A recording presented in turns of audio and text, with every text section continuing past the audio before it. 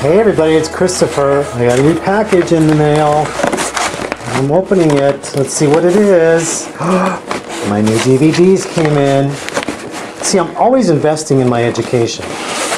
And I always like to watch other people sew because I'm always making videos of people watching me sew, but I like to watch someone sew. And so, like I said, I've, I have a library of DVDs and videos since the early 90s. And I still invest in them. Let's see what I got. Ah, okay, let's see what came in.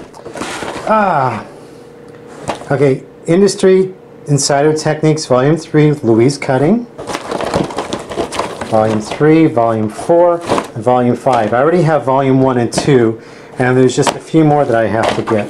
So, see, when I go to bed at night, I put a sewing video in, and I watch sewing videos. I fall asleep to them. Sometimes it takes me a month just to watch one video.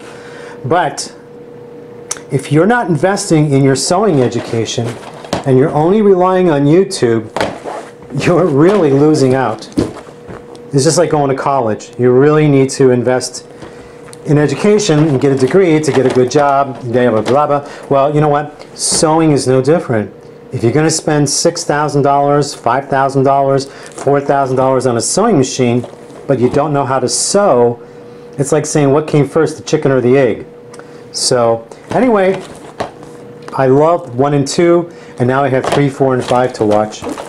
And the only thing I can, I'm going to say is that I didn't see proper sewing ergonomics. I didn't see an extension table attached to the sewing machine. So even though she's showing you industry insider techniques, she's not showing you industry insider professional ergonomics like Islander does.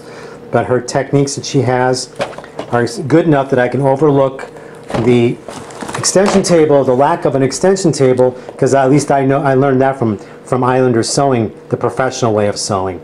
Okay, guys, take care. Hope this helps you to inspire you to buy some DVDs and start investing in your education.